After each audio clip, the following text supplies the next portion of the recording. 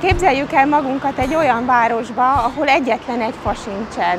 Nincsenek fák az óvodaudvarokban, a magánterületeken, a parkokban, nincsenek utcasorfák, a patakokat sem kísérik fák.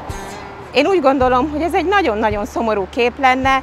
Ez a Vörösmarty utcai kép, ez, ez nagyon hasonlít ehhez és más városban is vannak olyan helyek, például Budapesten, ahol egész részek ilyenekké váltak.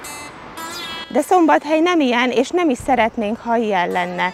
Szombathelyen a parkok, a régi lakótelepek tele vannak fákkal, és az utcákban is nagyon sok fasor van. Szerencsés, aki olyan utcában lakhat, akinek fa van az utcájában, és az is, aki Szombathelyen él, azért, mert Szombathely bővelkedik zöld felületekben, és a faállomány is nagyon jelentős.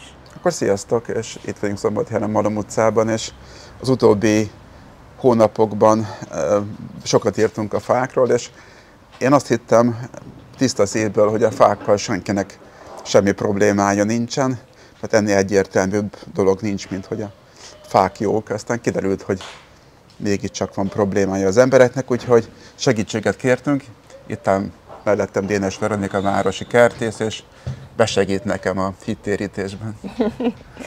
Igen, sajnos a szombathelyi lakók egy kis része a fák sok-sok pozitív hatása mellett azt a kevés negatív hatást túlságosan föl tudják erősíteni, és panaszkodnak a fákra.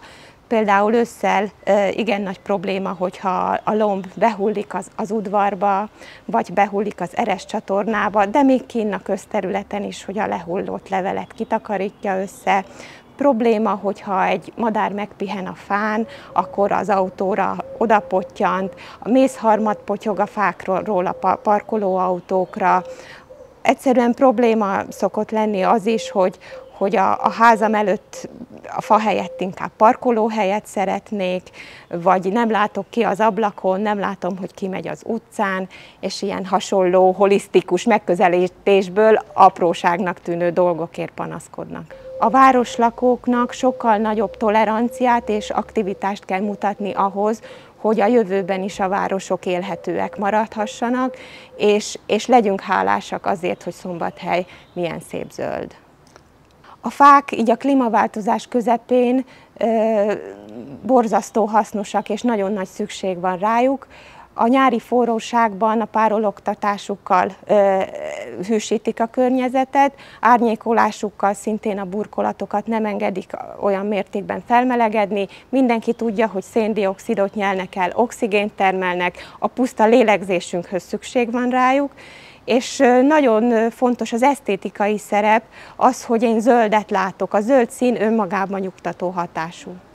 Egyrészt a fiatal fák ültetésénél van egy kis százalék pusztulás, ugye ez a, faiskolai mm, labdázás következében van, van néhány százalék, ami nem ered meg, de én nagyon bízom benne, hogy, hogy tömeges száradás többet nem lesz.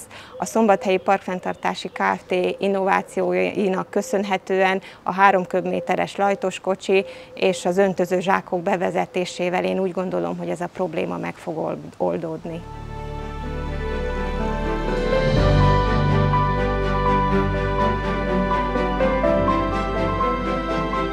Legyünk hálásak érte és vigyázzunk rá!